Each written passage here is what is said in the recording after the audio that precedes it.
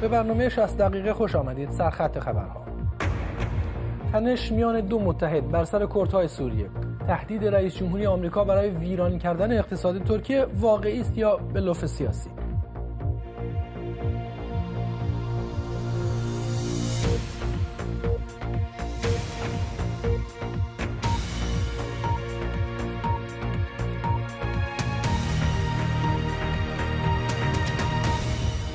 در برنامه 15 کشته و یک زخمی. هواپیمای باری ارتش ایران در نزدیکی کرج دچار سانحه شد. در اعتراض به محدودیت دسترسی به پزشک و تماس با خانواده نازنین زاغری و نرگس محمدی دست به اعتصاب غذای سه روزه زدند. و ورود تلویزیون فارسی بی بی سی به دومین دهه فعالیت. کودک نوپایی که با شما و در خانه های شما آرام آرام بزرگ شد.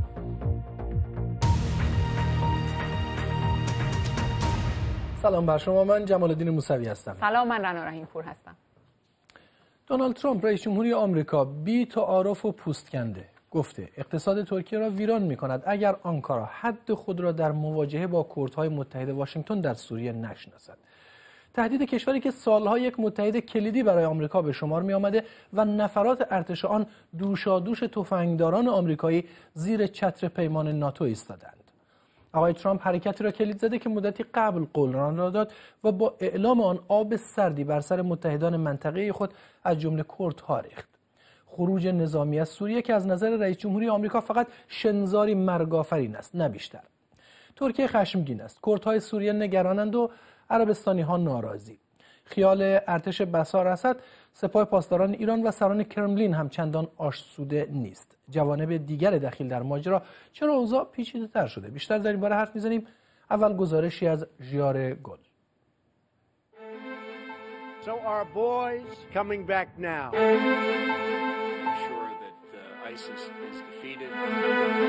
صداهای متفاوتی از واشنگتن در باری سوریه به گوش رسیده. در یک ماه گذشته مشاوران رئیس جمهوری آمریکا و مقام های ارشد کاخ سفید گفتند تا مطمئن نشوند که ترکیه به کردهای سوریه حمله نمی کند تا خیالشان از نابودی کامل داعش راحت نشود و تا ایران در سوریه حضور داشته باشد سربازان آمریکایی سوریه را ترک نخواهند کرد. هنوز هیچ یک از این شرایط حاصل نشده اما حرف حرف دونالد ترامپ بود. او ماه گذشته گفت به زودی سربازان آمریکایی از سوریه خارج خواهند شد و داعش شکست خورده. از هفته پیش خروج سربازان آمریکایی از سوریه شروع شده. آقای ترامپ دیروز در توییتی نوشت خروج سربازان آمریکایی از سوریه میبایست زودتر شروع می‌شد. همزمان به حملاتمان به باقی مانده داعش از هر طرف ادامه می‌دهیم. اگر سر در بیاورند از پایگاه نزدیک به آنها حمله می‌کنیم. اقتصاد ترکیه را ویران خواهیم کرد اگر به کردها حمله کنند. یک منطقه امن 32 کیلومتری درست کنید. در این حال نمی‌خواهم کردها ترکیه را تحریک کنند. روسیه ایران سوریه از سیاست جنگ طولانی آمریکا با داعش دشمن طبیعی آنها در سوریه منفعت بردند ما هم منفعت برده ایم اما وقت بازگرداندن سربازان ما به خانه فرا رسیده. این جنگ بیپایان باید متوقف شود. در واکنش وزیر خارجه ترکیه تهدیدهای دونالد ترامپ را بی اثر خواند. استراتژیک ortaklar, müttefikler معمولا متحدان استراتژیک در توییتر و فضای مجازی با هم گفتگو نمی کنند. ما باید درباره این موضوع گفتگو کنیم. درباره لحن تهدیدآمیز دونالد ترامپ باید بگویم ما بارها گفته ایم و حال هم می‌گوییم از تهدید نمی ترسیم. با تهدیدهای اقتصادی به هیچ نتیجه نمی رسید. به دنبال تهدید دیروز دونالد ترامپ ارزش لیره ترکیه. در مقابل دلار امروز صبح پایین آمد و ارزش بورس استانبول سقوط کرد. ترکیه بارها تهدید کرده که اگر نیروهای کرد شرق رودخانه فرات در شمال سوریه را ترک نکنند به آنها حمله خواهد کرد. ترکیه نیروهای کرد را بخشی از پکک در سوریه می‌خواند و تهدیدی برای امنیت ملی خود. پیشنهاد منطقه امن 32 کیلومتری بین ترکیه و سوریه را اولین بار وزیر خارجه آمریکا مطرح کرد. مایک پمپاو گفته خروج سربازان آمریکایی پایان حضور آمریکا نیست بلکه تغییر تاکتیک است. ارتش آمریکا می تواند از هر نقطه جهان با قدرت عملیات انجام دهد. غیبت حدود دو هزار سرباز آمریکایی از سوریه به هیچ وجه از توانایی نظامی ما در سوریه نمی کاهد. ما می توانیم اهداف نظامی ما را در هر نقطه از جهان عملی کنیم. هم در سوریه و اگر لازم باشد در ایران. پس از اعلام تصمیم ماه گذشته دونالد ترامپ برای خروج حدود 2000 سرباز آمریکایی از سوریه کردها از ارتش سوریه دعوت کردند که به منبج یکی از شهرهای تحت کنترل خود بازگردند. تلویزیون دولتی سوریه گزارش داد که یگانهایی از ارتش سوریه در خارج از شهر منبج مستقر شدند. همزمان مذاکرات بین کردها و دولت سوریه درباره آینده مناطق تحت کنترل آنها ادامه دارد. کردها امیدوارند مناطق خودمختار کردشین سوریه در قانون اساسی جدید این کشور به رسمیت شناخته شود. شاهوز حسن از رهبران کرد سوریه گفت ما خواهان یک پارچگی سوریه هستیم و در حال مذاکره با دولت بر این اساس. روسیه و سایر کشورها باید از این مذاکرات و گفتگوها حمایت کنند. مقام های دولت سوریه هم نسبت به احتمال موفقیت گفتگوها ابراز امیدواری کردند. هناك تواصل مع الاکراد با کردها در تماس هستیم. گفتگوها متوقف نشده. با توجه به سیاست های توسعه طلبانه ترکیه باید به گفتگوها سرعت داد. بسیاری از مواضع کردها درباره یکپارچگی سوریه مثبت و امیدوار کننده است. مطمئنیم با گفتگو می توانیم بخشی از خواسته های آنان را تضمین کنیم. در چهار سال گذشته نیروهای دموکراتیک سوریه با حمایت ائتلاف به رهبری آمریکا توانستند داعش را از بخش‌های وسیعی از سوریه بیرون برانند. رهبران کرد سوریه خواهان برقراری منطقه پرواز ممنوع بر فراز مناطق تحت کنترل خود در شمال و شرق این کشور هستند. ژیار گل بی بی سی علی کریمی نویسنده و تحلیلگر مسائل کردستان عراق از لندن با ماست و همینطور مهمت کوچ پژوهشگر مرکز مطالعات ایرانی آنکارا از همین شهر آقای کوچ حرف از این بود که گفتگوهایی میان آمریکا و ترکیه جریان داره. الان که آقای ترامپ حرف از تهدید زده به معنای این است که این گفتگوها شکست خورده؟ خیر اتفاقا آقای ترامپ این روش رو فقط در قبال ترکیه در پیش نگرفته. کلا رفتارش در عرصه بین الملل در روابط بین الملل به همین شکل است. بنابراین خیلی تعجب آور نیست از این لحنی که به کار برده. اما گفتگوهایی که صورت گرفته ادامه داره و این حرفی که زده به نظر می‌رسه که یک گام به جلو یک گام به عقب است چون تا کنون سالها پیش ترکیه از آمریکا و متحدین دیگر که ائتلافی که علیه داعش شکل گرفته بود خواسته بود که یک منطقه حائل و در درون مرزهای سوریه به عمق سی تا 40 کیلومتری ایجاد بشه. و این درخواست ترکیه تا کنون بی پاسخ مانده بود. و بعد از توییت آقای ترامپ متوجه شدیم که از یه طرف هرچند این لحن تهدیدآمیزی را به کار برده ولی از اون طرف هم اون چیزی که ترکیه سالها به دنبالش بود پذیرفته و رسمیت بخشیده. بنابراین می‌توان گفت که از این به بعد باید گفتگو را چگونه این برنامه اجرا بشه عملی بشه باید در همون راستا صورت بگیره. آقای کریمی شما موافقین که نباید خیلی حرفای آقای ترامپ رو جدی گرفت؟ اخلاقش اینطوریه؟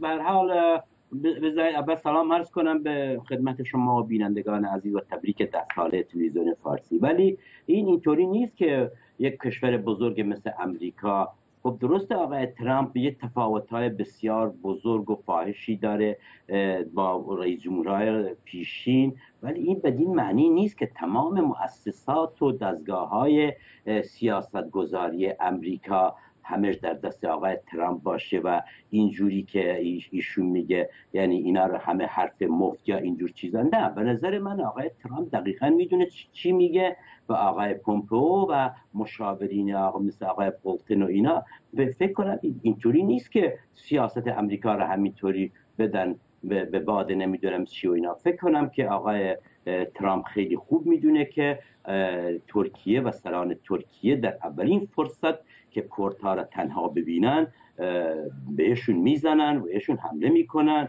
و امریکا و تمام کشورهای جهان خیلی خوب است سیاست های نجات پرستی و سیاست های انکار ملت های دیگر خاورمیانه از طرف ترکیه آگاهند و می‌دونن که اگر یک قدرتی نباشه که اینها را پس برونه یا اینها را جلوی اونا را بگیره اونا از هیچ حرکاتی واهی ندارن. همون صد سال پیش بود که تمام ارمنها را قتل عام کردن. همین بله. دیروز و پیروز بود که خودتون دیدید که در افرین و کوبانی چیکار کردن. به نظر من این حرف بسیار درست آقای پمپو و آقای ترامپ که وقتی اونا از خوب اونا می‌تونن برن بیرون دیگه تا ابد که در سوریه نمیمونن. ولی این که هشداری که دادن بسیار بجاست و باید ترکیه قبول کنه که دیگه چه که با آشتی و صلح با دیگر ملت های همسایه خود زندگی کنه.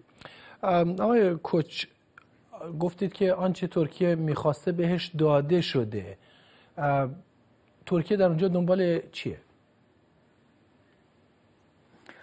ببینید آقای موسوی من قبل از اینکه پاسخ شما را جواب بدم یه توضیح در رابطه با نظر آقای کریمی باید بگم. ایشون گفتن که ترکیه در صورت داشتن امکان بلا فاصله حمله می‌کنند و کردها را سرکوب می‌کنند. این حرف کاملا بی اساسه چرا که وقتی کوبانی مورد حمله قرار گرفت و این ترکیه بود که بیش از دویست هزار نفر از مردم کرد را در درون خودش جای داد درها را باز کرد و اینا را اسکان داد و الانش هم این اسکان ادامه داره. بنابراین موضوعگیری ترکیه در قبال به هیچ وجه کردها نیست. در قبال شاخه پکک یعنی یک گروه تروریستی هستی از طرف ترکیه سالهاست در حقیقت به عنوان گروه تروریستی شناخته میشه. بنابراین ما این چیز رو نباید امر رو با هم قاطی کنیم. کردها با پکک و پی وایدی تکلیفشون کاملا جدا هستش. برنامه بعدی که الان در پیش داریم با آمریکا واقعیتش این است که ترکیه هم تجهیزات لازم هم نیروی لازم رو به منطقه اعزام کرده و مستقر کرده. اگه آمریکا کوتاه نمی آمد این حمله به هر صورت به خصوص از منبیج آغاز می شد چون خیلی وقت پیش ترکیه اعلام کرده بود که به هیچ عنوان اجازه ورود اجازه عبور نیروهای پیوایدی از به غرب فرات رو نخواهد داد. آمریکایی هم اعلام کردند که از اون منطقه بعد از مدتی عقب نشینی خواهند کرد و اینها را به شرق فرات رانده خواهند داد. ولی متاسفانه این کارو نکرد. بعد از فشارهای ترکیه بود که اعزام نیرو و تجهیزات نظامی سنگینی بود که آمریکا کوتاه اومده و الان با برنامه ترکیه داره به نحوی خودشو تلفیق میده. آقای کریمی اونطور که آقای کوچ میگن آمریکا کوتاه اومده؟ کوتاه اومده نموده. اصلا اصلا موزل نیست. اصلا بحث نیست در این فاصله در این میاد در این میاد اونی که بسیار بسیار مهمه اینه که هم امریکا و هم جهان می‌دونه که ما در میانه با قدرتی مثل ترکیه همه در خطرن. همه کشورهای دوربر ترکیه حتی خود ایران از یه سابقه بسیار تاریخی داره. حتی عراق حتی کردها که می‌دونیم که 20 میلیون کرد در خود ترکیه هیچ حقوقی ندارن. می‌دونیم که در ترکیه روزانه بسیاری از فعالین سیاسی در زندان هستند حتی خبرنگاران خارجی در زندان هستند به محض اینکه از کرد صحبتی بشه اونها را به زندان های ترکیه می‌برن. به نظر من وقتی این رسیده که اتفاقا آقای ترامپ خوب اشاره کرده و به جای بسیار شکننده ترکیه زده که در مورد اقتصاد ترکیه است. اگر ترکیه دو دهه قبل که در چنان وضع بحرانی بود ولی بعد به دلیل رویدادهای دولت عراق و سرنگونی صدام حسین و دولت اقلیم کردستان معاملات بسیار بزرگ تجاری از حدود 15 تا 20 میلیارد دلاری را درست شد. امروز اگر ترکیه به این سیاست های خودش همین دیروز و پریروز بود که وضع لیر ترکیه به وضع تومن ایرانی در اومد. این بسیار بسیار خطرناکه بهتره برای حفظ امنیت و آسایش ملت ترکیه آقای اردوغان به آشتی و صلح بپردازه با تمام همسایه ها و بخصوص کردهای خود ترکیه و کردهای سوریه. آقای کش در این اختلاف نظرهایی که بین ترکیه و آمریکا بر سر کردها پیش اومده به نظر میاد که دولت ایران گهگوداری هم البته دولت روسیه و همینطور دولت بشار اسد رضایت خودشون رو پنهان نمی کنن یا در بعضی از موارد به نظر میاد که کنار نشستن نظاره می‌کنند. آیا می‌تونن از این وضعیت بهره برداری کنند؟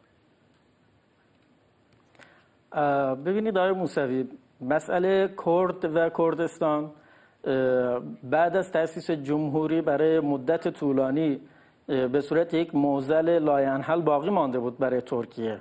آقای کریمی به موضوع اشاره کرد که الان باید توضیح بدم هم به پاسخ شما هم به توضیحات ایشون. که ایشون نشون میده که با واقعیت های ترکیه آشنایی ندارن به خصوص برای این سالهای اخیر تحولات که در سالهای اخیر اتفاق افتاده. حزب عدالت توسعه روند صلح رو آغاز کرده بود و برای پایان دادن به این موزل به این مشکل خود پکک بود که کنار نیومد. به جای اینکه نیروهاشو از مرزهای ترکیه خارج کنه با اسلحه هاشون داشت شهرها را مسلح می‌کرد که بعدا متوجه شدیم که باعث درگیری در داخل خود شهرها شد که الان کاملا در حال تصفیه هستش. اینکه ترکیه حقوق کردها را به رسمیت نمی‌شناسه یا نمی‌دونم سایر کوچکترین حقوق اینا در نظر نمی‌گیره هیچ گونه واقعیت رو نشون نمیده. بله هم آمریکا هم روسیه همینطور اسرائیل یا کشورهای دیگه همسایه از این وضعیت به نحوی جهت تضعیف موقعیت منطقه‌ای ترکیه و سیاست‌های ترکیه استفاده دارن بهره برداری می‌کنن. این واقعیت این بله. خب آقای کریمی شما پاسختون رو بگید به حرفای آقای کوچ که ایشون نظر شما رو نقد کردند. من احساس کردم که با انسان آکادمی و انسانی آگاه و محلل در گفتگو هستم. من خب البته آقای کریمی سعی کنید که بحث رو شخصی نکنید. بله. بفرمایید پاسختون رو بگید. و این دو دفعه هم جواب ندادم. ولی حقیقت اینه که همه همه می‌دونن تمام جهان می‌دونه که حقوق کردها در خود ترکیه پایمال شده. حدود 100 سال است که این کردها به ترکای کوهی معرفی شدند و حتی حتی زبان کردی ممنوع بوده است. این که آقای اردوغان و حزب عدالت و توسعه رفرم هایی کردن خب در دو دهه گذشته همه از استقبال کردن. حتی پیککی چند دفعه یک طرف آتش بازی کرد. این که سیاست هفتش سال قبل آقای اردوغان و حزب عدالت و توسعه خوب همه می‌دونیم که بسیار خوب بود و همه امید بزرگتری به ترکیه درست شد و به ترکیه داشتیم. ولی ناگهان غرور و تکبر و جهانگشایی و عثمانی بودن ترکیه و با این تئوری هایی که آقای داود اغلو درست کرد و بعدا آقای اردوغان این عظمت طلبی خب همه چیزو به هم زد. ممنونم از علی کریمی نویسنده و تلگر مسائل کردستان از لندن و همینطور مهمت کوچ پژوهشگر مرکز مطالعات ایرانی آنکارا. از همین شهر موضوع البته جنجال برانگیز ابعاد ماجرا هم بیشمار. انشالله در فرصت های بعدی باز هم به این موضوع باز خواهیم گشت و این بحث ها ادامه پیدا خواهد کرد. در حادثه سقوط یک هواپیمای باری بوینگ 707 ارتش ایران در اطراف کرج 15 نفر از 16 سرنشین هواپیما کشته شدند. به نوشته رسانه های ایران این هواپیما به جای فرودگاه پیام کرج به اشتباه در فرودگاه فتح صفا دشت فرود آمد. فرین آسمی گزارش می‌دهد. هواپیمای باری ارتش ایران از بیشکک پایتخت قرقیزستان پرواز کرده بود و هنگام فرود اضطراری در فرودگاه فتح در استان البرز دچار حادثه شد. این هواپیمای باری قرار بود در فرودگاه پیام استان البرز به زمین بنشیند اما بیش از 20 کیلومتر آن طرفتر در فرودگاه فتح متعلق به سپاه پاسداران فرود آمد. بعد از فرود از انتهای باند خارج شد با ساختمانهای مسکونی پشت دیوار برخورد کرد و آتش گرفت. معمولا توی تمام دنیا مرسوم هست. اگر فرودگاه هایی نزدیک هم باشه مثلا فرودگاه پیام توی چارتش منشن می‌کنه یه فرودگاه دیگه در نزدیکی اینجا هست. به خلبان alert میده که حواستون رو جمع بکنید در اونجا ننشینید. ولی متاسفانه تو plate فرودگاه پیام همچین alert ی همچین تذکری به خلبان داده نشده. شبکه خبر ایران هم به نقل از یک مقام مسئول در فرودگاه پیام گفته که به دلیل کم بودن دید ناشی از ابری بودن هوا خلبان بوینگ 707 ارتش فرودگاه فتح را با فرودگاه پیام اشتباه گرفته و به سمت این فرودگاه رفته و بعد از فرود به دلیل کوتاه بودن باند فرودگاه فتح از آن خارج شده است. این هواپیما حامل گوشت یخزده بود که مقام های ارتش گفتند برای طرح مردمیاری از قرقیزستان وارد ایران می‌شد.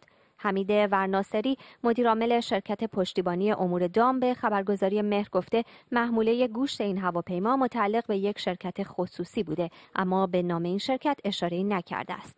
روابط عمومی ارتش اعلام کرده علت سقوط این هواپیما در دست بررسی است. فرین آسمی بی بی سی. وزارت خارجه بریتانیا امروز سفیر ایران در لندن را احضار کرده تا درباره برخورد مسئولان ایرانی با نازنین زاغری توضیح دهد. سفیر ایران در پیامی توییتری نوشته در این ملاقات تاکید کرده که خانم زاغری به اتهام جاسوسی زندانی است. نازنین زاغری و همبندش نرگس محمدی مدافع حقوق بشر از امروز اعتصاب غذای محدود را برای دسترسی به های پزشکی شروع کردند. همسر خانم زاغری در لندن در یک کنفرانس خبری مدعی شد که نیروهای امنیتی ایران به همسرش پیشنهاد کردند که در قبال آزادی در بریتانیا برای جمهوری اسلامی جاسوسی کنند. جزئیات بیشتر از کسرا ناجی. وزارت خارجه بریتانیا امروز سفیر ایران را در لندن احضار کرد. برای ادای توضیح درباره رفتار حکومت ایران با نازنین زاغری. مادر جوان دو تابعیتی ایرانی بریتانیایی که بیش از هزار روز است. در ایران پشت میله های زندان است. چند کیلومتر آن طرفتر این کنفرانس مطبوعاتی مشترک ریچارد راتکلیف همسر خانم زاغری و شیرین عبادی برنده جایزه صلح نوبل. اینجا خبر شروع اعتصاب غذای نازنین و همسلولیش نرگس محمدی فعال حقوق بشر و مادر جوان دیگری که به علت فعالیتهایش در زمینه دفاع از حقوق بشر در ایران چهار سال است که در زندان است. نازنین امروز تلفنی به من گفت که آنها دو خواسته دارند. اول دسترسی به مراقبت های پزشکی تخصصی و دوم تضمین کتبی مقام های زندان که این دو از هر نوع مداوایی که دکتر تجویز کند برخوردار شوند. شیرین باتی گفت دسترسی به مراقبت های پزشکی از ابتدایی ترین حقوق زندانیان امروز از خیلی از زندانیان سیاسی و عقیدتی دریغ می شود. و باید بگم متاسفانه فقط نازنین و نرگس نیستن که در این شرایط. هست تعداد دیگری از زندانیان سیاسی بیمارن که اجازه درمان بهشون نمیدن. و بقیده من حکومت ایران مرگ تدریجی زندانیان سیاسی و عقیدتی رو تدارک دیده.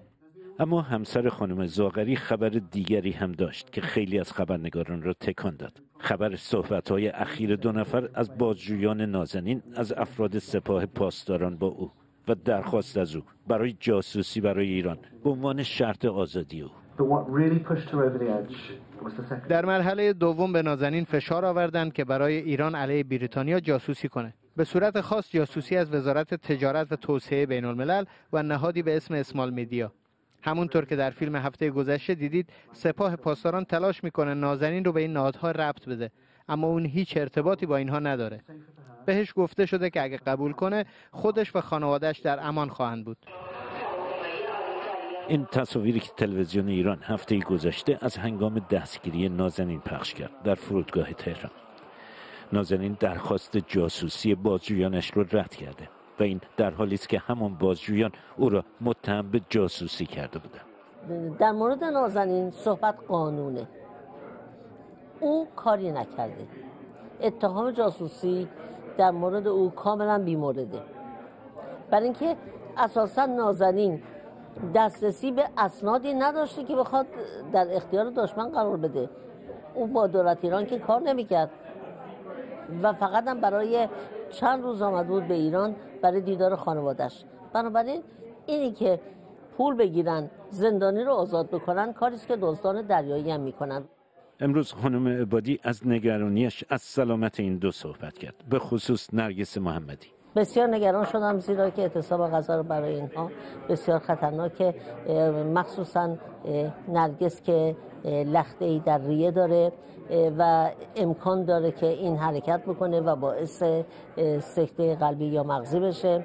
و علاوه بر اون به خاطر سلول انفرادی که قبلا اونجا بوده مبتلاس به فلج ادواری ازولانی که اگر دارو بهش نرسه حالت تشنج شدید میده. و متاسفانه چند روزه که داروها هم تمام شده دارو هم نداره. افکار عمومی جهان حالا با شروع اعتصاب غذای نازنین زاغری و نرگس محمدی متوجه این دو شده و به خصوص نازنین زاغری. وزیر خارجه بریتانیا امروز در ملاقاتی با همسر نازنین صحبت از پیامدهای شدید برای ایران کرد. اگر دسترسی او به مراقبتهای پزشکی تأمین نشود. کسترونجی بی بی سی. اعظم جنگ روی یکی از زنانی که به دختران خیابان انقلاب مشهور شدند اخیرا در توییتر. در مورد آنچه که بعد از اعتراض به حجاب اجباری به سرش آمده نوشته. او برخوردی را که دادگاه های ایران بعد از اعتراضاتش به او انجام دادند مستاق شکنجه روحی دانسته. از لغو طلاقش گرفته تا اخراجش از کار و گرفتن هزانت دخترش. همه یکی پس از دیگری در صفحه اینستاگرامش هم منتشر شده. شادی الهی همکارم جزئیات این خبر رو دنبال کرده. شادی خانم جنگ روی زنان زنان دیگه هم اعتراض کردن. ویژگی خانم جنگ روی چیه؟ کدام یک از معترضان به حجاب اجباری او؟ خانم جنگ روی همون همون یک, سال پیش در خیابان انقلاب روسریش رو به سر چوبی بست رفت بالای یک سکویی و این روسری رو به نشان اعتراض به حجاب اجباری تکون داد و نیروی انتظامی هم تصویرش هست که ایشون رو حل میده از این سکو. از اونجا اسم ایشون سر زبون ها میفته و دادگاهی براش تشکیل میشه برای اعتراض به حجاب اجباری. اما موضوعی که اخیرا ایشون منتشر کرده در رشته توییتی که ما در دست داریم بعد از اینکه دادگاه اعتراض به حجاب اجباری تشکیل شد یک ساعت بعد نوشته خانم جنگ روی که یک دادگاه دیگه براش تشکیل دادن که در اون گفتن که حکم طلاق تو لغو شده و ما پرونده ای رو که بر اساسش شما طلاق گرفتی رو پیدا نمی کنیم در نتیجه طلاق شما لغوه. در اونجا صحبت می‌کنه از اعتراضاتی که بهش میشه از نحوه برخورد معاون دادستان و تهدیدهایی که به او ارائه میشه و میگن که شما کارتو از دست میدی هزانت بچت رو می‌گیریم. از اینها گفته در این رشته توییت ها و این رفتارهای قوه قضایی رو قوه قضاییه رو مصداق شکنجه روحی دونسته. اینه که الان دوباره ایشون سر زبون ها افتاده. متشکرم. شادی اسداللهی در استودیو با ما. اعظم جنگ روی فعال حقوق زنان و از دختران خیابان انقلاب به ما پیوسته. خانم جنگ روی خوش آمدید به برنامه. همونطور که شادی اشاره کرد تصویر پایین کشیدن شما از سکویی که در اون برای اعتراض به حجاب اجباری ایستاده بودید با واکنش گسترده‌ای در افکار عمومی در ایران داشت. به ما توضیح بدید که بعد از اون حادثه بر شما چه گذشت؟ من هم سلام می‌کنم خدمت شما و بینندگان محترمتون. راستش بعد از اینکه من روی سکو وایستاده بودم اول خب جمعیت کمی اونجا بودن. بعد به مرور زمان جمعیت زیاد شد و وقتی که جمعیت زیاد شد یه دفعه یه آقایی که لباس شخصی بودن و با مامورین نیروی انتظامی اومده بودن منو به طور وحشتناکی پایین کشیندن و خب شست من همون لحظه آسیب دید و ایشون دو تا لگدم تو پای من زدن و نیروی انتظامی منو دستگیر کردن و بردن اول کلانتری. خب من اونجا اول همش می‌گفتم دستم درد می‌کنه به پزشک نیاز دارم. ولی متاسفانه حرف منو گوش نمی‌دادن. تا همون آقایی که اطلاعات منو ثبت می‌کرد آقای یا آقایی بود لباس شخصی بودن مامور نیو انتظامی نبودن. دست منو گرفت و خودش دست منو جا انداخت و آنچنان دردی گرفت که اصلا من دردش رو هیچ فراموش نمی‌کنم. بعد خب منو بردم وزرا. من چند روزی بازداشت بودم و در انفرادی بودم تا اینکه منو بردن به پیش می‌خواستن اون روزی که منو ببرم پیش بازپرس اول بردن پیش معاون دادستان. آقای بود به نام آقای منصوری. آقای منصوری با صحبت های خیلی زشت و زننده شروع کردن با من صحبت کردن. ایشون اول منو فاحشه خطاب کردن. به من گفتن که شما دنبال شوهر بودی که رفتی اون بالا. و حرف و صحبت خیلی زشتی گفتن که من اینجا نمی‌تونم بیان کنم. فقط اینو بگم که شروع کردن به تهدید کردن. به من گفتن از کار بیکارت می‌کنیم. بله. دخترتو ازت می‌گیریم. هر چی که داری ازت می‌گیریم. بله. حتی من گفت گواهی نامت همراته و من یه دفعه قافلگی شدم. گفتم نه. گفت گواهی نامت هم می‌گیرم ازت. گواهی نامت هم باطل می‌کنم. نمی‌ذارم حتی رانندگی کنی. خونه نشینت می‌کنم. همه کارهایی که گفت کرد اخراج بخواستم بدونم کدوم یکی از این تهدیدها عملی شد. خب هر کاری که ایشون گفتن رو انجام دادن. بعد از اینکه بعد از قضیه یعنی من دو تا احضاریه دریافت کردم بعد از اینکه آزاد شدم. واسه ده تیر یکی دادگاه دختران انقلابم بود و اون یکی یه دادگاه دیگه بود که خودم نمی‌دونستم تقریبا چیه. در فاصله دادگاه ها شما آزاد بودین یا در بازداشت بودین؟ نه نه. من 26 بهمن ماه این کارو کردم و بعد از ده روزم که آزاد شدم بعدش بعد از این قضیه دادگاه من نسبت به دختران دیگه از همه دیرتر تشکیل شد. دادگاه من ده تیر بود. دادگاه من وقتی تشکیل شد یعنی قبلش برای من دو احضاریه اومده بود. یکی احضاریه که برای دختران انقلابم بود یکی برای دادگاه خانواده بود. اصلا من این دادگاه خانواده رو زیاد جدیش نگرفتم. حتی به دوستام هم نشون می‌دادم زیاد اینو ما جدی نمی‌گرفتیم. نمی‌دونستم چیه در حقیقت. وقتی که به فاصله یک ساعت بود دادگاه دختران انقلابم ساعت هشت در دادگاه ارشاد بود. اون یکی در دادگاه خیابون هروی دادگاه تجدید نظر. دادگاه دختران انقلابم از قبل همه چیش معلوم بود و اصلا همینجوری فرمالیته بود. یه ده دقیقه بیشتر طول نکشید و به من گفتن بعد از ظهر یا فردا بیا حکم تو بگیر. بله. و در دادگاه خانواده چه اتفاقی افتاد؟ خب وقتی که من رفتم دادگاه خانواده کاملا شوکه شدم و یه دفعه شما میرید و مواجه میشید با چیزی که اصلا در مخیلتون هم نمی گنجه اصلا من نمی‌دونستم اینا دارن چی میگن. به من گفتن که مدارک طلاق شما ناقصه. من از طریق پرونده یعنی از طریق دو چیز طلاق گرفتم. یکی نفقه و یکی اسر و حرج. کسانی که وکیل خانواده باشن اینو می‌دونن. یعنی شما فکر می‌کنید که پرونده طلاق شما به دلیل فعالیت های اعتراضی شما نسبت به حجاب اجباری دوباره باز شده بود؟ اصلا خب همینو می‌خوام بیان بکنم.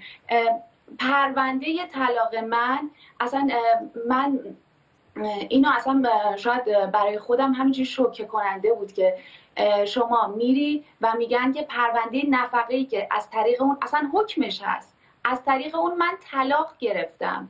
و اصلا شما اگه اون نباشه اجرایی نفقه شما نباشه به شما طلاق نمیده بله حالا چی شد در اون پرونده؟ اون پرونده به کجا رسید؟ خب همین موضوع رو می‌خوام بگم که خب ما یک به من گفتن اون پرونده گم شده. یک ما از این دادگاه به اون دادگاه دنبال اون پرونده بودیم تا اینکه پرونده پیدا شد و اجراییه از تو پرونده حذف شده بود. یعنی گم شده بود اجراییه و از تو سیستم هم پاک شده بود. وکیل من میگه اصلا چنین چیزی امکان نداره. وکیلم میگه اصلا اگه اجرایی تو نباشه تو نمی‌تونی طلاق بدی یعنی در عمل حکم طلاق شما رو ابطال کردن درسته؟ خب این هم هستش که اومدن اینا قاضی با دو چیز طلاق منو برگردون. گفت به دلیل این پرونده که گم شده و علل خصوص دادنامه فلان. دادنامه فلان چی بود؟ داد حکم دختران انقلاب من بود. اصلا حکم دختران انقلاب من چه ربطی به طلاق من داره؟ بله. بله پس نتیجه می‌خوام برسیم به نتیجه نهایی. از دید شما پرونده طلاق باز شد به دلیل فعالیت های شما علیه حجاب و حکم طلاق شما ابطال شد. درسته؟ بله. متشکر از شما اعظم جنگ روی. فعال حقوق زنان و از دختران خیابان انقلاب با ما و همچنین شادی الهی در استودیو. حسین کروبی فرزند مهدی کروبی گفته از دو ماه پیش پدرش اجازه یافته هفته یک بار دیداری در بیرون از محل حبس خانگی داشته باشند به گفته حسین کروبی مسئولان امنیتی به مهدی کروبی از رهبران معترض به نتایج انتخابات سال 88 گفتند با هماهنگی قبلی می توانند هفته یک بار از محل حبس خانگی خود خارج شوند. در همین حال میر محمود موسوی برادر میر حسین موسوی گفته تغییری در وضعیت برادرش و زهرا رهنورد حاصل نشده و حسر آنان مانند قبل ادامه دارد. محمد تقی کربی فرزند مهدی کربی از رهبران اعتراضات سال 1388 از بریتانیا. و ماست کروبی این که به پدر شما اجازه داده شده هفته یک بار دیداری در بیرون از محل حبس خانگی داشته باشند با چه شرایطی هست؟ آیا با هر کسی می‌تونن دیدار داشته باشن هر جایی که خواستن؟ با سلام خدمت شما و بینندگان محترم. همونطوری که اشاره کردیم چند دیدار پدرم در خارج از حصر داشتن. ماجرا این دیدارها برمیگرده به سخنانی که سال گذشته آقای شمخانی دبیر شورای عالی امنیت ملی مطرح کرده بود که این عزیزان در حصر می‌تونن با افرادی که بخوان ملاقات کنند پس از اون ماجرا عده زیادی از دوستان از جمله چهرهای شاخص سیاسی سیاسی اصلاح طلب و اعضای حزب پدر ما و علاقمندان های مهندس موسوی اینها نهایتا این رو اعلام آمادگی کردن که خب خیلی آمادن که و علاقه من حالا که امکانش هست دیداری داشته باشن.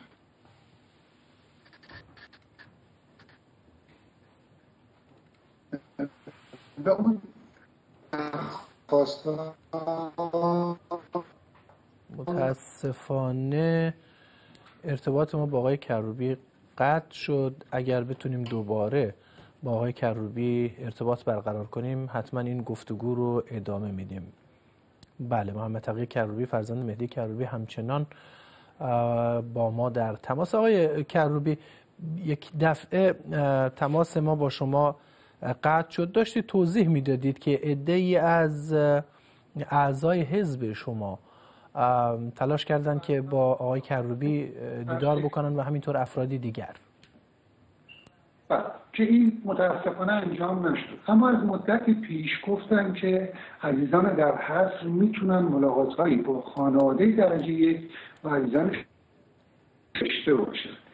خب پدر من ترجیح داد وقتی که چهرهای سیاسی امکان ملاقات نداشت گفتن فرزندان که به منزل میان منو می‌بینن من علاقه مندم به دلیل اون ارتباط عاطفی که از مؤسس بنیاد بودن بنیاد شهید بودن با خانواده شهدا داشت که دیدار خانواده شهدا در چند امروز انجام شده و این بودی که تمام اعضای شهدی و با مرحوم آقای شاه حسینی که پدر سه شهید بودن و سرکار خانم پنهی و پنهی که بازم این از خانم. آقای کربی متاسفانه صدای شما قطع میشه. حین صحبت کردن خیلی کلمه ها مفهوم نیست. تا اون چیزی که من فهمیدم این بود که با یکی دو تا از اعضای خانواده های شهدا در ایران به درخواست خود آقای کروبی کسانی که خانواده های شهدا خوانده میشند دیدارهایی صورت گرفته. سران اتحادیه اروپا در نامه ای تلاش کردند به نمایندگان مجلس بریتانیا درباره توافقنامه خروج این کشور از اتحادیه اروپا اطمینان خاطر بدهند.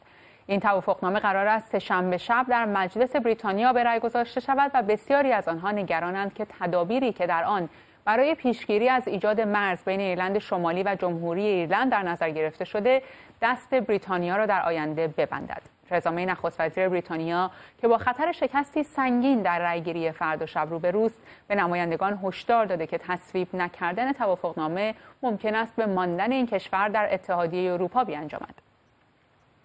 خبرنگار ما بهرنگ تاجدین از پارلمان بریتانیا در مرکز لندن به ما پیوسته بهرنگ تازه ترین ها چیه؟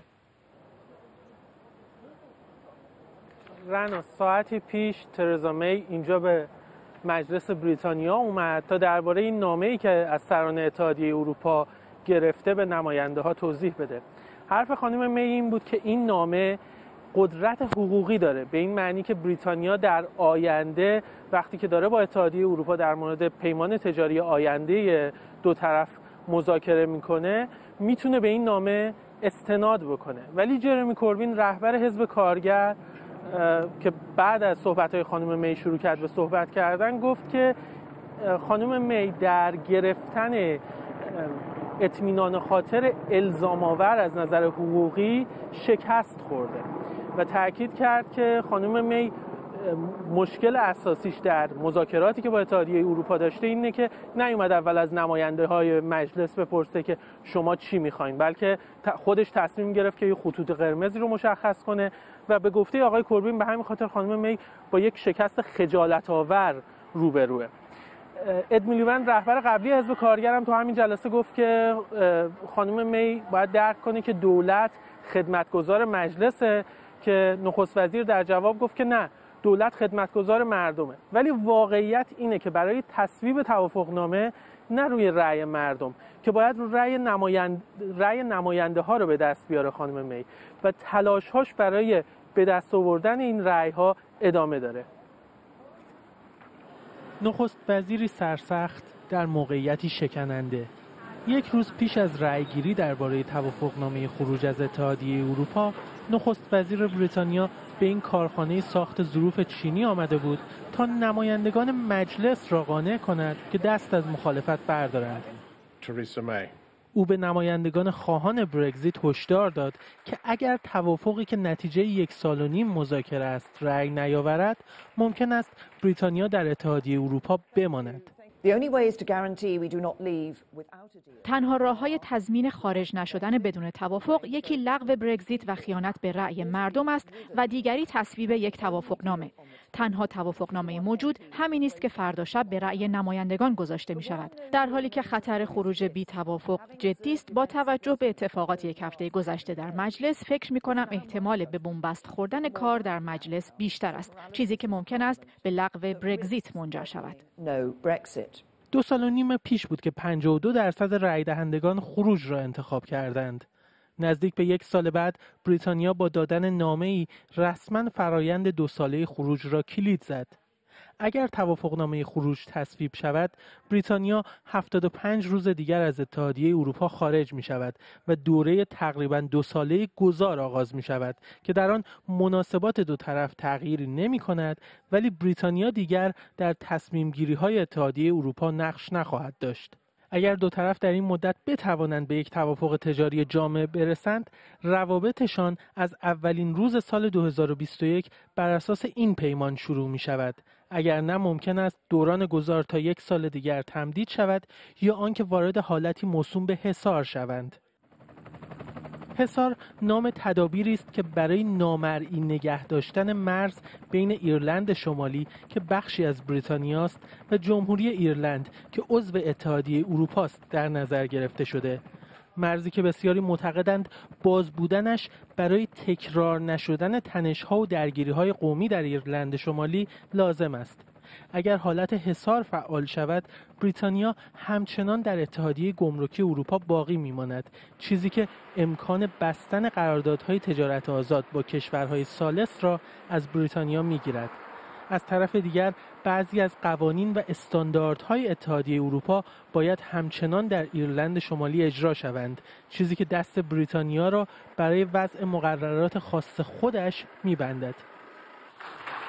این محدودیت ها باعث شده بسیاری از نمایندگان خروج طلب مجلس با توافقنامه مخالف باشند.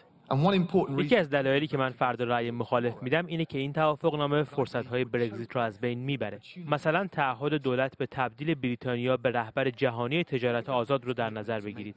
وقتی ما کنترل مقررات امکان کم کردن عوارض و سیاست تجاریمون رو بدیم بره چنین چیزی غیر ممکن میشه. برای پاسخ به این نگرانی ها دو نفر از سران اتحادیه اروپا نامه‌ای به نخست وزیر بریتانیا نوشتند تا اطمینان بدهند که اتحادیه اروپا علاقه ای به استفاده از حصار یا نگه داشتن ابدی بریتانیا در این شرایط ندارد. دونالد توسک و ژان کلود یونکر نوشتند مانند بریتانیا اتحادیه اروپا هم نمی‌خواهد حالت حصار به اجرا در بیاید. کمیسیون اروپا هم مانند بریتانیا تمایل دارد مناسبات آینده در اسرع وقت آغاز شوند. به جز آنهایی که با این توافقنامه مخالفند هستند کسانی که کلا با خروج مخالفند و فکر می کنند دو سال و نیم بعد از همه پرسی حالا اکثر بریتانیایی ها ماندن در اتحادیه اروپا را ترجیح می دهند. این فعالان فکر می کنند تنها راه خروج از بنبست احتمالی در مجلس برگزاری یک همه پرسی دیگر است. چیزی که ترزامی به شدت با آن مخالف است ولی شاید دست آخر چاره دیگری برایش نماند. بهرنگ چقدر احتمال داره رای بیاره؟ فردا. من شرط نمیبندم روش. ببین تخمین هایی که زده شده اینه که بیشتر از 400 نفر از 630 نماینده مجلس به توافقنامه رأی مخالف میدن و فقط حدود 220 نفر ممکنه بهش رأی موافق بدن. البته در چند روز گذشته چند نفر از کسانی که قبلا گمان می‌رفت که به توافقنامه رأی مخالف بدن نظرشون رو تغییر دادن. ولی با وجود این به نظر نمیاد که مثلا نامه ای که امروز سران اتحادیه اروپا نوشتن نظر خیلی ها رو تغییر بده. و این چرا مهمه؟ ببین در یه نظام پارلمانی شما حزبی می‌تونه دولت رو تشکیل بده که حمایت اکثر نماینده های مجلس رو داره. و به همین خاطر در تقریبا در همه رأیگیری ها می‌تونه مطمئن باشه که هر چیو می‌خواد رأی میاره هر چیو می‌خواد رأی نمیاره. اما اگر همین شرایط فعلی پیش بره احتمالا دولت ترزا فردا سنگین ترین شکست یک دولت بریتانیا در تاریخ معاصر در یک رأیگیری در مجلس عوام رو می‌خوره. که خب این خیلی می‌تونه کار رو برای خانم می سخت بکنه و ممکنه نمایندگان مخالف توافق رو جریتر بکنه که خودشون کنترل این فرایند برگزیت و اینکه در آینده چی میشه رو در دست بگیرن. متشکرم بهرنگ تاجدین از مقابل پارلمان بریتانیا تیم ملی ایران برای مسابقه آخر مرحله گروهی جام ملت‌های آسیا در دوبه مستقر شده. نتیجه دیدار با رقیب همسایه عراق تکلیف سرگروه رو مشخص می‌کنه. پوریا جافره از امارات متحده عربی گزارش میده. برای تمرین تیم ملی در دوبه باشگاه الوس در نظر گرفته شده و حالا با قطعی شدن صعود ایران به مرحله بعدی توجه ها روی این تیم بیشتر شده. با توجه به فشرده بودن مسابقه ها و فشار مضاعفی که به چمن ورزشگاه ها می آید حتی روز قبل از مسابقه هم ایرانی ها به جای ورزشگاه آل مکتوم در همین باشگاه الوس تمرین خواهند کرد. در جدول گروه بعد از دو مسابقه با یمن و ویتنام تفاضل گل بهتر در مقایسه با عراق دست بالاتر را به ایران داده. به این ترتیب با یک مساوی هم ایران سرگروه خواهد شد. در شرایط عادی ممکن بود کارلوس کیروش سرمربی ایران محافظ کارانه بازی کند. ولی خودش می‌گوید شکست تلخ دوره قبل مقابل عراق استخوانی است که در گلویش گیر کرده. تمرینات تیم ملی فوتبال ایران در دوبی جایی که قراره که روز چهارشنبه در مسابقه حساس مرحله گروهی برای صدرنشینی با عراق بازی بکنه. ایران 23 سال پیش در همون ورزشگاه آل مکتوم مقابل عراق دو یک شکست خورد و همینطور در دور قبلی جام ملت‌ها هم این عراق بود که ایران حذف کرد. و حالا برای خیلی از بازیکنان تیم ملی فرصتی هست برای انتقام گرفتن از یک رقیب قدیمی. تا اینجای کار خط حمله ایران هفت گل زده و مدافعین و دروازبان هم دروازه را بسته نگه داشتند.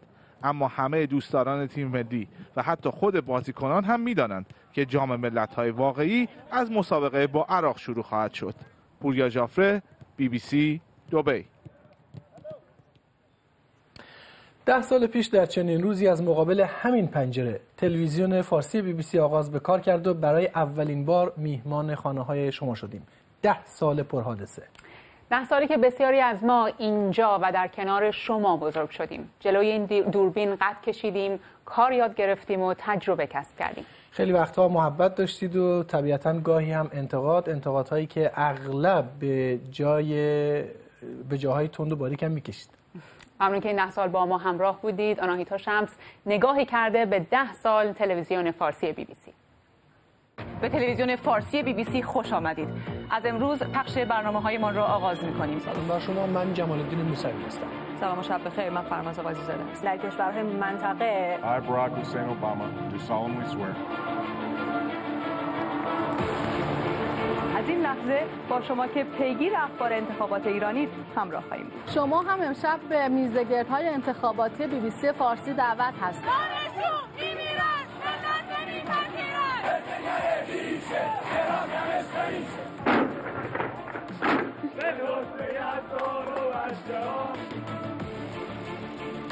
انگار که پایتخت رو خیلی دوست داشتی سریال امانوئل مکرون. با 65 درصد آرا. فرمان ممنوعیت ورود او مراسم اسکار رو مستقیما تحت تاثیر قرار داد. خیلی سنگینه. یعنی شاید بگم نمی‌تونم حتی یک قدم بردارم. برای حفظ و نگهداشت این مکانهای تاریخی مهداد فرهمند از میدان تحریر قاهره همراه ماست. در قاهره زندگی به حال عادی برگشته. هزینه این مراسم رو خانواده سلطنتی بریتانیا و خانواده میدلتون می‌پردازن شرایطی که رهبران مخالف توافق کرده بودند که انتخابات پارلمانی بریتانیا روز پنجشنبه برگزار میشه. صندوق مورد نظر شناسایی میشه و به ادعای تقلب رسیدگی میشه.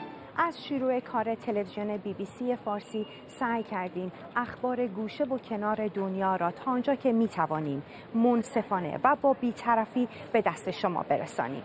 اما در این سالها بودند طیف ها و احزابی که بی بی سی فارسی را به نزدیک بودن به طیف ها و احزاب دیگر متهم کردند. اینها می‌گویند با آنهاست و آنها می‌گویند با اینهاست. اما بی بی سی فارسی تلاش کرده بر مبنای اصول روزنامه نگاری این سازمان با اتکا به پشتوانه تجربه و خبرنگاران حرفه‌ای خبر را به دست مخاطبانش برساند. تلویزیون بی بی سی فارسی ده سال پیش متولد شد و پیش روی شما قد کشید.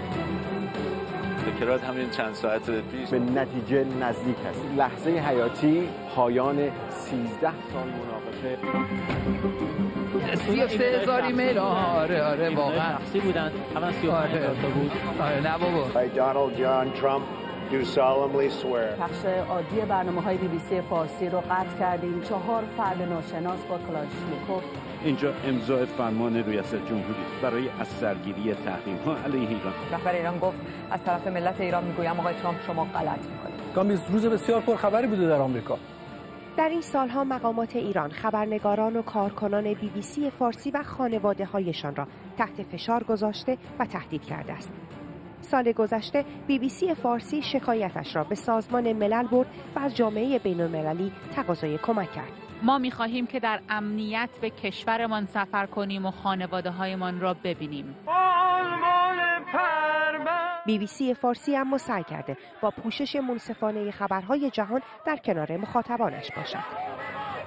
شدیدترین اعتراضات در انتخاباتی که بیشترین شرکت کننده را داشت. تلویزیون فارسی بی بی سی در سال 1388 جایزه واضح ترین پوشش یک حادثه خبری را به خاطر پوشش انتخابات ایران دریافت کرد. جایزه ای که از طرف اتحادیه رادیو و تلویزیون های بین المللی به مستند انتخاباتی که ایران را لرزاند داده شد. تلویزیون فارسی بی بی سی همچنین جوایز دیگری در سالهای گذشته برای پوشش برنامه های خبری دریافت کرد. نه با مدار انتخاب ممکنه باور کن بس کن ده سال با خبر و فراتر از خبر با شما بودیم. آنایتا شمس بی بی سی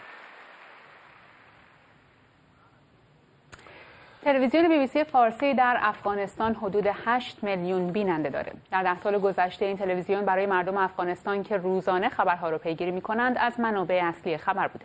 در ده سال گذشته تلویزیون بی بی سی فارسی به مهمترین رویدادهای خبری افغانستان پرداخته و داستانهای ناگفته ای از زندگی زنان و جوانان این کشور رو روایت کرده.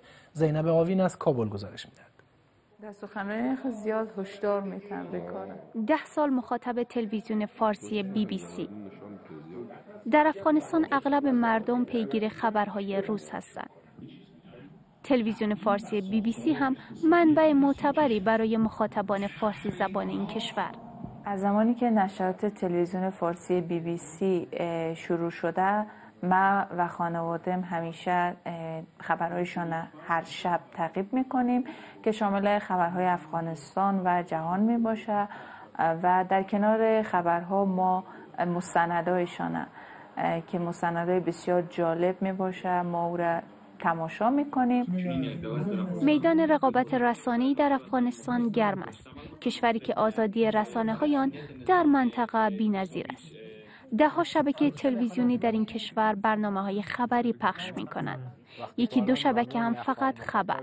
از جمله تلویزیون آریانا نیوز. بیشترین گزارش ها و برنامه های بی بی سی فارسی در افغانستان تهیه کرده. بعض وقت غذای خوب برای رسانه های داخلی افغانستان هم شده و رسانه افغانستان تانسته در موارد مختلف بی بی سی را باعث ملاک کار خود قرار بده. خصوصا گزارش های تحقیقی بی بی سی که انجام میده. گزارش در خان بلخشان که جور کرده بودم کارتان. برخی نخبگان سیاسی و مقام های دولتی هم از تماشاگران پروپا قرص تلویزیون فارسی بی بی سی هستند.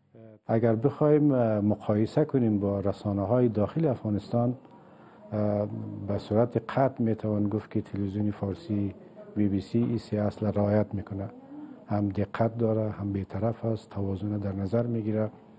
اما پوشش حوادث و رویدادهای ایران به مراتب بیشتر است. در تلویزیون فارسی بی بی سی است پوشش حوادث و رویدادهای افغانستان. اینجا اتاق خبر بی بی سی در کابل است. گزارشگران بی بی سی فارسی در ده سال گذشته مهمترین رویدادهای افغانستان را پوشش دادند. از جنجال های سیاسی انتخاباتی و مسائل امنیتی گرفته تا روایتی از ناگفته های زندگی زنان و جوانان این کشور. در اینجا تلاش می تا موضوعاتی به تصویر کشیده شود که نه تنها برای افغان ها بلکه برای دیگر فارسی زبان های جهان هم جذابیت داشته باشد. هرچند تلویزیون فارسی بی بی سی در افغانستان با آنتنهای عادی قابل دسترسی است اما استفاده از دستگاه های ماهواره این فاصله را از میان برده رسانه‌ای که دهها سال پیش پایش با رادیو به افغانستان باز شد و با وبسایت و تلویزیون به زبانهای فارسی، پشتو و ازبکی سالها مردم این کشور را از رویدادهای مهم افغانستان، منطقه و جهان با خبر ساخته. زینب آوین بی بی سی کابل. برنامه صفحه دوی سه شنبه فردا رو هم همکارم فرناز قاضی زاده به ده سال شدن تلویزیون بی بی سی فارسی اختصاص داده با مهمانانی که دعوت کرده به موضوع تاثیر این تلویزیون بر دنیای رسانه فارسی زبان ها می‌پردازه. صفحه دو رو حتما ببینید. تو این ده سال خوب موندی؟ یک کم مواد کم شده. فکر می‌کنی ده سال بعد دوام میاره؟ ترجیح میدم خودم دووم نیارم خدا نکنه. شب بخیر. شب شما بخیر. ممنونم از همراهی شما. با 60 دقیقه